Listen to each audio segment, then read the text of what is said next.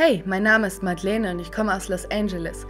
Hast du dich jemals gefragt, ob es möglich ist, dass eine ruhige Studentin zur gefürchtetsten Person in Juvie wird? Ich erzähle euch, wie das geht, aber zuerst müsst ihr liken und abonnieren. Ich erinnere mich daran, als wäre es gestern gewesen.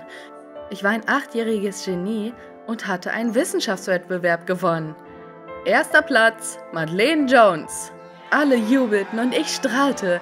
Ich war schon auf halbem Weg über die Bühne, als die Ansagerin verwirrt war. Ups, da gab's eine Verwechslung. Der Gewinner ist eigentlich Tyler Lee. Es tut mir leid, Madeleine. Alle fingen an zu lachen. Ich ging beschämt von der Bühne und lief ins Badezimmer, um zu weinen.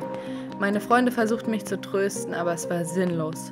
Nach diesem Tag beschloss ich, dass mir so etwas nie wieder passieren würde. Ich musste ein Perfektionist werden und in alles, in allem, überall die Beste werden. Und genau das habe ich getan. Ich habe nie wieder einen Wettbewerb verloren und war immer die Beste in der Klasse. An meinem ersten Tag an der Oberstufe schlenderte ich durch den Eingang der Schule und versuchte mich zurechtzufinden. Aber dann sah ich ihn und ich schwöre, mein Verstand war völlig leer.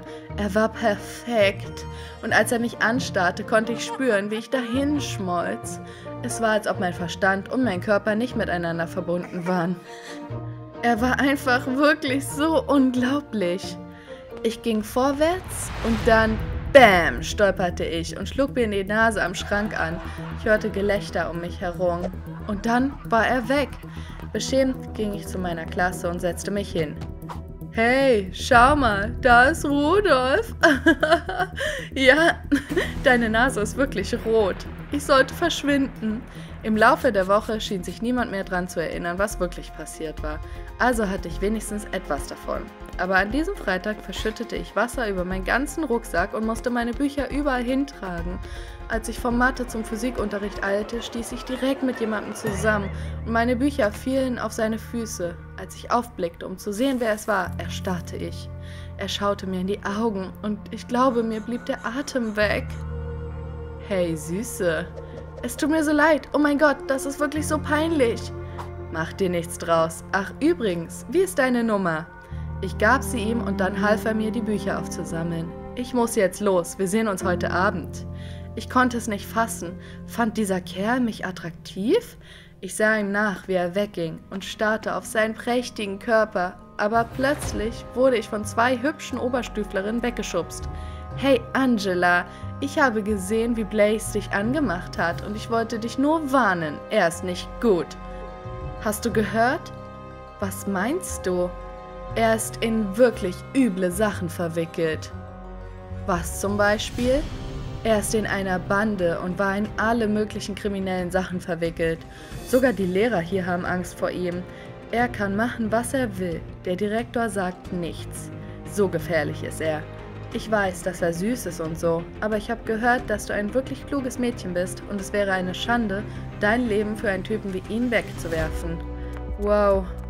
Okay, danke, dass du mir das gesagt hast. Sie ging weg und ich ging zu meiner nächsten Klasse.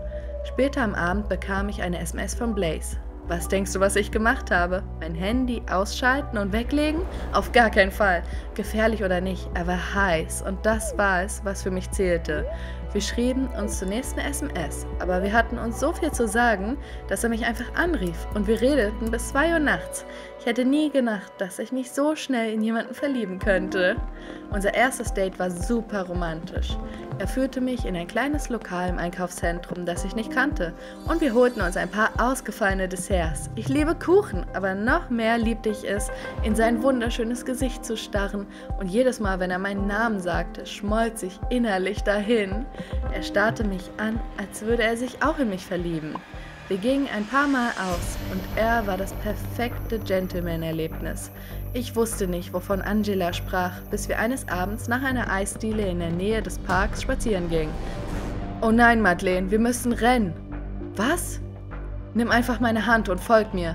Wir rannten zehn Minuten lang, bis wir eine einsame Gasse erreichten. Wer ist er? Er gehört zu einer rivalisierenden Bande und die haben es auf uns abgesehen. Es tut mir leid, dass du das sehen musstest. Ich meine, ich könnte es mit ihm aufnehmen, aber ich versuche von meiner Dame ein Gentleman zu sein. Dann fuhr er fort, mir von seinem Leben in der Gang zu erzählen, aber alles, was ich hörte, war bla bla bla, weil ich mich nur auf eine Sache konzentrieren konnte. Hast du mich gerade deine Lady genannt? Ja, eigentlich wollte ich dich heute Abend was fragen. Und das wäre? Willst du meine Freundin sein? Natürlich, Blaze. Ich dachte schon, du würdest nie fragen. Also akzeptierst du mich und all die schrecklichen Dinge, die dir über mein Leben erzählt wurden? Klar, ich komme sogar mit, wenn du willst. In der nächsten Woche wusste jeder in der Schule von unserer Beziehung, weil wir uns ständig umarmten oder Händchen hielten. Eines Tages kam Angela zur Toilette und versuchte, meine Beziehung auszureden. Ich hab dir doch gesagt, dass Blaze kein guter Kerl ist. Er macht nichts als Ärger und du bringst dich in Gefahr. Warum interessiert dich das so sehr? Weil du ein toller Mensch zu sein scheinst und ein echter Idiot bist. Wir versuchen nur, dich zu beschützen. Ich hoffe wirklich, dass du zuhörst, dass wir dir auf lange Sicht eine Menge Ärger ersparen wollen. Ich sagte ihr unhöflich, sie soll verschwinden, und sie verließ den Raum mit einem Gesichtsausdruck, als ob sie gleich weinen würde. Später an diesem Tag tat mir das leid und ich machte mich auf die Suche nach ihr. Ich dachte, sie wäre in der Nähe des Spinns, weil es gerade zum Klassenwechsel klingelte, aber sie war nicht da. Ihr Spind war leicht geöffnet. Ein Blick hinein. Ihr werdet nicht glauben, was ich gefunden habe. An der Innenseite der Spinntür klebte ein Bild von Blaze. Sie hatte es mit Herzchen verziert und unten stand eines Tages wirst du mir gehören. Ich konnte es nicht glauben. Sie war in Blaze verknallt und versuchte mich dazu zu bringen, ihn in Ruhe zu lassen, damit sie ihn für sich haben konnte.